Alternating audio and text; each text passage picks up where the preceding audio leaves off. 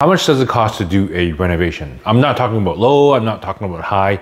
How about a nice mid-end renovation? In this video, we're gonna be talking about the cost for a renovation, the process of a renovation, the timeline of a renovation, so that you'll have a good understanding of how to do your renovation. Throughout this video, I'm gonna show you pictures of projects that I have done. My name is Ken. I've done many renovations, big and small. So first of all, what is a mid-end renovation? So it typically includes substantial upgrades to all areas like the kitchen, the washroom, replacing outdated finishes, upgrading stuff like fixtures and sometimes reconfiguring spaces like tearing down walls to better functionality. It's not the most basic cosmetic upgrades, but we're not talking about luxury finishes or custom builds either. It strikes a good balance between improving your home and keeping the cost manageable. First, let's talk numbers. For mid-range renovations in Vancouver, you're looking at about one to $200 per square foot. Of course, the total cost depends on the size of the project and the areas that you're gonna be doing the renovation. Let's kind of break down the cost by room. For a kitchen renovation, a mid-range kitchen, it's typically gonna cost between $25,000 and $50,000. This includes updating cabinetry, countertops, appliances, and the lighting fixtures. For instance, you might choose quartz countertops, semi-custom cabinetry. So you might ask, well, 25,000 to $50,000, that's a big difference. What can you do for $25,000? Well, let's just talk about lighting. Lighting can be one kind of flush mount. You put it to the ceiling, just around one round thing. Or you can have a lot of pot lights. Actually, they're not called pot lights now because pot lights refers to the old light bulbs. They're called LED panels, which is basically LED lighting. Little discs like this, you put it up. In a typical kitchen, you can have six to eight of them. And that requires rewiring. Often when you rewire a ceiling, a lot of the modern ceilings will have that flat look. So the old popcorn ceiling, you will flatten that out. Here's one thing that adds to the cost. Secondly, a lot of people like islands. In the old layout, the kitchen sink is to the side, but what if you want to move that entire sink to the middle of the island? That requires extra plumbing. So this is where the differences in costs come in. Next, bathroom renovations. Updating a bathroom will run between $10,000 and $30,000. This can involve replacing tiles, upgrading to a new vanity, installing a beautiful bathtub or shower, and adding a new fixture. You likely want to use quality materials without going over the top. Once again, you're asked, you know, what, how come it's 10,000? How come it's 30,000? Well, great question. Let's just talk about the shower base.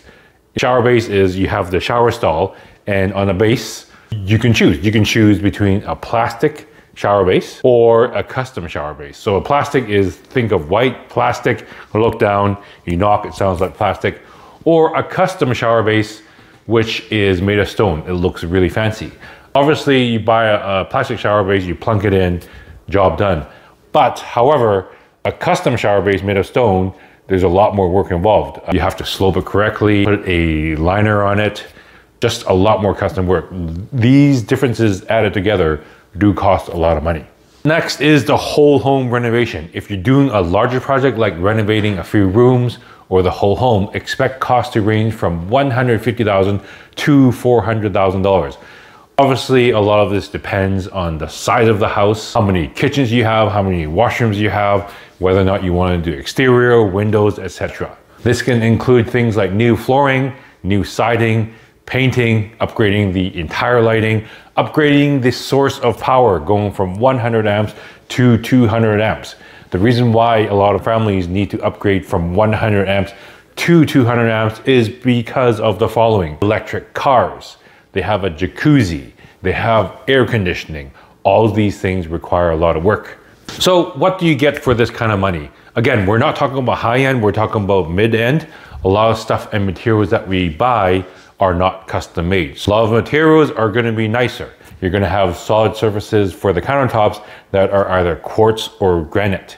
You're gonna have for flooring, laminate or engineering.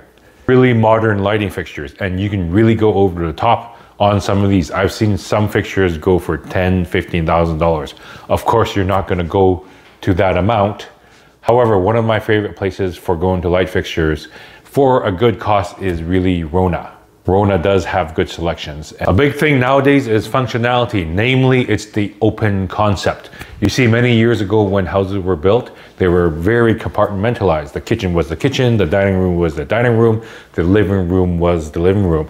However, nowadays everything wants to be opened up into one great room or one big open concept. Everything kind of flows into one huge room. You have the kitchen, dining room, and living room all connected. It looks big, it makes the house look very grand.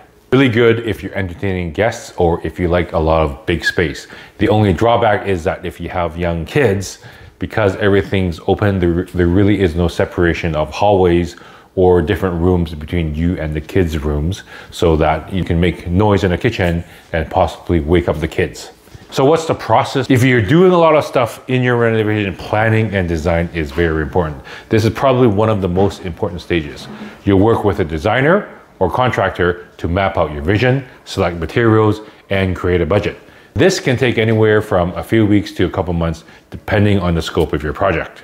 Next is permits. Generally speaking, if you're not moving any walls, electrical, plumbing around, if you're just, for example, removing the cabinets, replacing the countertops, changing a few faucets, changing a few light fixtures, that doesn't need permit. But the minute you switch plumbing fixtures around, for example, if you want to move your plumbing three feet to the left or right, if you're enlarging windows, if you're taking down walls, that does require a permit and uh, you have to submit plans. If you're doing structural work, you have to get the permits from an engineer, get all this together and submit it to the city.